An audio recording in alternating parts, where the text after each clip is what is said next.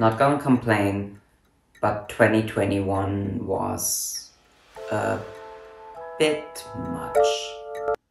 So I escaped. Nothing spectacular, just surfing and diving, being by myself with my wife. But I was wrong. Hi, I'm Henk, and I'm a minimalistic living the eco way. Here to inspire you and giving you some tips along your journey.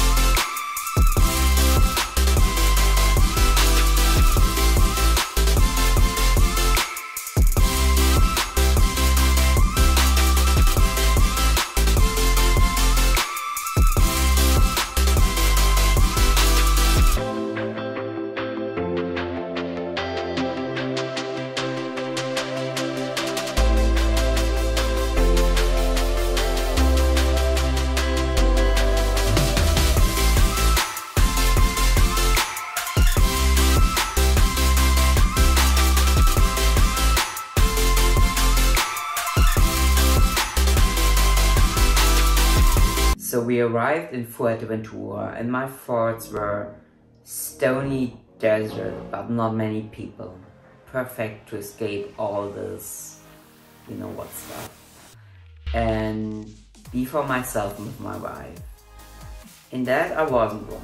So we took an Airbnb which was a good choice in the first place.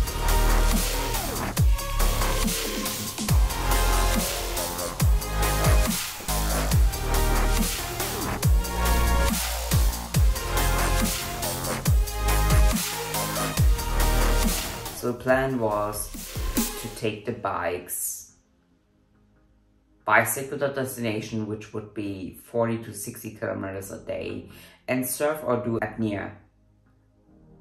But before we started with those, we wanted to explore the city and enjoy nature. Fuerteventura was more than a stony desert. It was beautiful and tasty.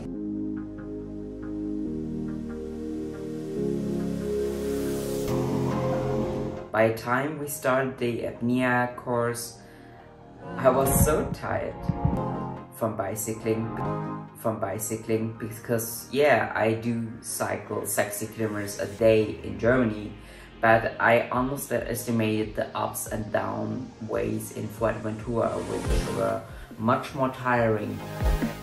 Then uh, I started the week with apnea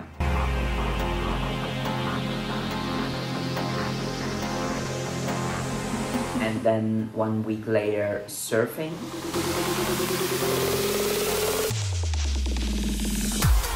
And then we went south to see uh, some whales, which we didn't have some success, but you can see it was still a good choice because we still had a good time.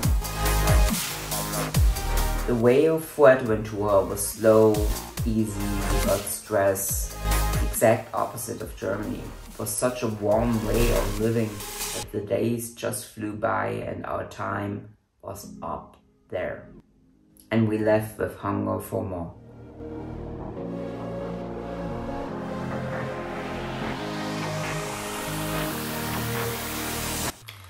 Thank you if you've made till the end.